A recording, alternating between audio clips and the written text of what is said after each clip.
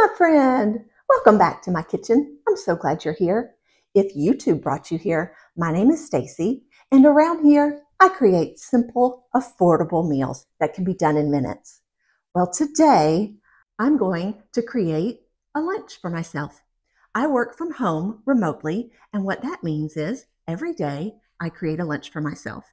But today's lunch is going to come together so fast using a couple of shortcuts. We're going to use a jarred teriyaki sauce and we're going to use these. Do you remember these ramen noodles?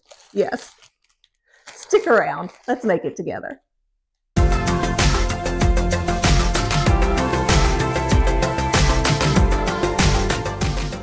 Now, not only are we going to use the shortcuts of the ramen noodles and the jarred teriyaki sauce, we're also going to be cooking this in the air fryer. Now, with this, we're going to be putting our teriyaki sauce on top of our chicken, and it kind of makes a mess. And I have to get to work. So we're going to use the air fryer liners. Now, they do change the cooking time just a little bit of your chicken. So you want to make sure that you have a thermometer that you can check to make sure that your chicken reaches 165 degrees. Let's put our ingredients together and get started. Here's what you're going to need. Some leftover veggies, whatever the veggies are that are your choice. Here I have mushrooms, broccoli, some sugar snap peas, and some carrots. House seasoning, because we put this on everything. If you don't know my recipe for house seasoning, I'll be sure to list that in the description and then a little bit of ground ginger. We just want to flavor this just a little bit while it's in the air fryer. We have our teriyaki sauce and our ramen and a chicken breast. Now I wanted to show you with these vegetables, I have the sugar snap peas here and the sugar snap peas have this little fibrous part of it. So we're just gonna snap that and you can see you just peel that off, snap the other side, and then, like a true southerner, I'm going to snap my beans. Let's season this chicken breast up.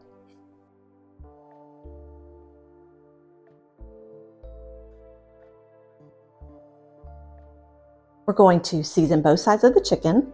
So we just flip it and now we'll season the other side.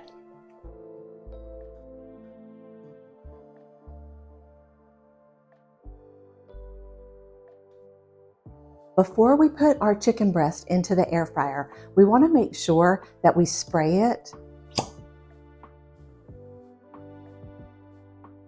So this is just olive oil in my little Misto spritzer. I can link the Amazon link to this below. We're going to turn it over, spray the other side, and then this will go into our air fryer liner and then into our air fryer. Now our chicken is going into the air fryer, 385 for 10 minutes.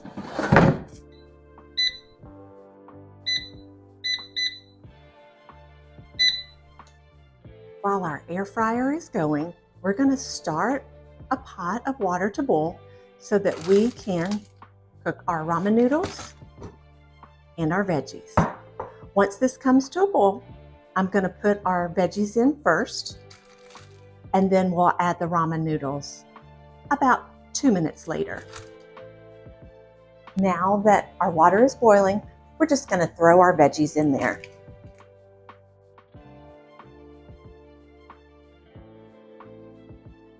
For about two minutes or so. Now that our veggies have softened a bit, we're going to add our ramen. I'm going to go ahead and break this into four chunks just so that it cooks a little faster. We are not going to be using that, so we're just going to throw that away.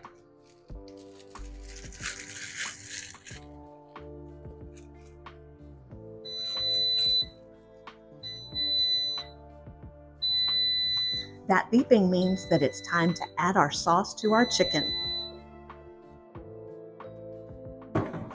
Our chicken is cooked for five minutes, so we're gonna take our bottle of teriyaki sauce and just pour that over the top, and then we're gonna flip the chicken. We're gonna use a fork to spread that teriyaki sauce all around.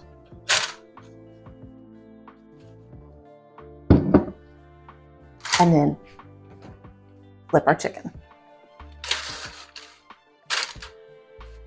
And add teriyaki sauce to the other side and then air fry for another five minutes.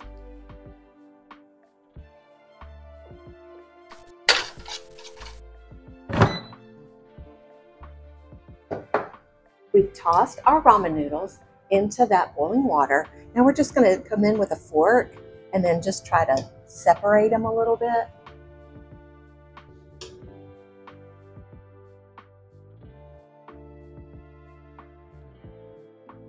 And we want them to be a little al dente, almost cooked. Once they're all separated, we're going to drain the water out. Now we have our ramen and veggies drained. We're just gonna throw in some water chestnuts. Do you all like water chestnuts? We love them. It gives just a little bit of a crunch. They're wonderful. And if you add them into the hot noodles, that's all you need to do. Just warm them up, basically. Now to this, we're gonna add a little bit of our teriyaki sauce. We'll start with about two tablespoons and stir that in and see what the color is and see if we need to add a little bit more.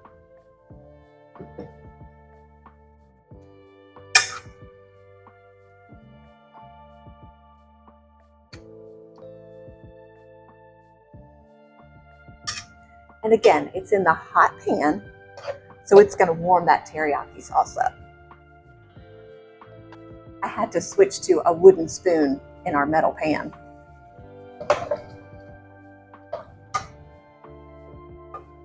There we go.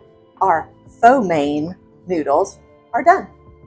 Now we just have to wait for our air fryer to be finished and our chicken will be done as well. Our chicken is done. Let's check to see what temperature it is.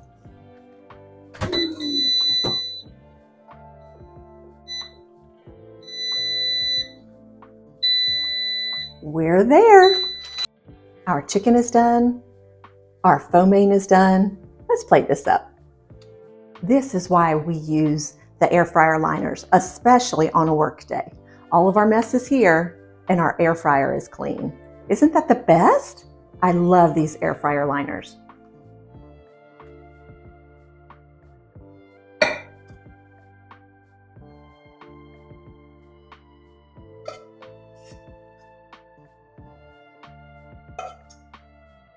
I think this might just be lunch for two people instead of one.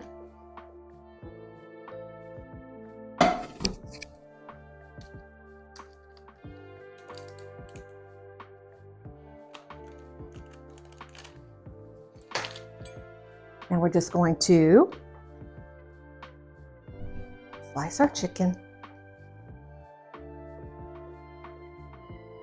You could definitely put this in a bowl too if you needed one hand, if you were sitting at your desk and needed a one-handed meal, this one would be great in a bowl too if you wanted to dice this chicken up.